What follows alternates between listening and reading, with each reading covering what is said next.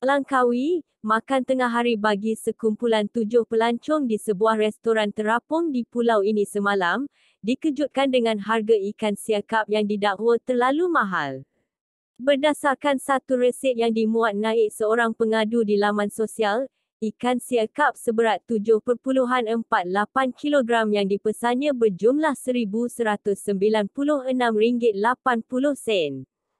Jumlah keseluruhan bil yang dimuat Maik pelanggan terbabit termasuk hidangan makanan dan minuman lain, ialah RM1,759.50 dan kini tular di media sosial. Selesai pembayaran saya tegur dan nasihat, jangan meniaga macam ini, ikan tu jangan bagi sampai 7 kg sedangkan untuk 7 orang makan dan beberapa lagi nasihat dan teguran saya sampaikan. Selepas itu, saya lihat pelanggan di belakang saya pun seolah-olah pasrah. Dia makan berdua dan bil yang dikenakan sebanyak RM755, katanya dalam hantaran dalam Facebook yang kini tular. Sementara itu, pemilik restoran terapung Sasrimba, Norashikin Musa, ketika dihubungi berkata, dia sendiri yang mengambil pesanan daripada pelanggan terbabit. Saya sudah menerangkan kepada pelanggan bahawa ikan itu biasanya tidak dijual, tetapi dipelihara sebagai sebahagian pertunjukan untuk tontonan pengunjung-pengunjung restoran.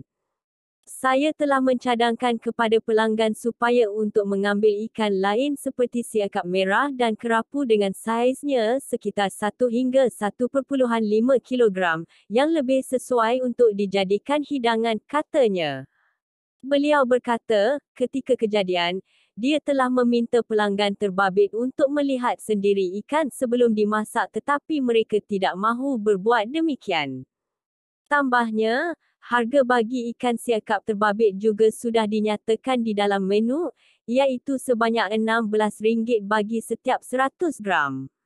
Nora Shikin turut menafikan dia ada mengenakan caj tambahan bagi pembayaran menggunakan kad kredit seperti didakwa pelanggan terbabit. Sebenarnya, pesanan pelanggan itu mempunyai dua helai resep masing-masing berjumlah RM1,759.50 dan RM93. Namun pelanggan itu hanya memuat naik resep yang lebih tinggi nilainya. Sekiranya anda yang berada di tempat pelanggan itu, apa yang anda lakukan untuk membayar bil sebegitu mahal? Saya berharap berita ini menjadikan kita lebih bersederhana dalam pemilihan makanan dan rancanglah bajet anda bagi mengelakkan berlakunya perkara seperti ini.